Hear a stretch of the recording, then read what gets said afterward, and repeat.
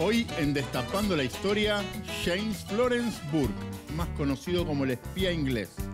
Y cocinamos la carbonada que fue testigo de los preparativos de la Revolución de Mayo. Regresamos en unos minutos para continuar con esta receta.